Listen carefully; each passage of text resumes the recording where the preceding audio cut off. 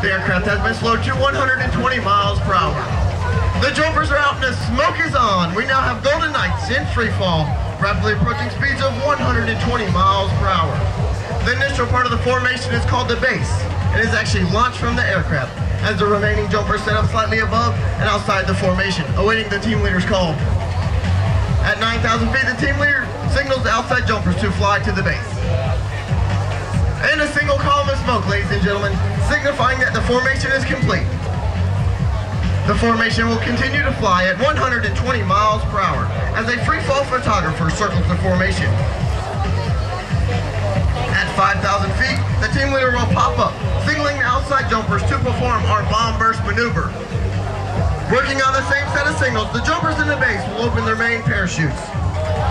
While the outside jumpers gain vertical separation, then they open their main parachutes at 2,500 feet.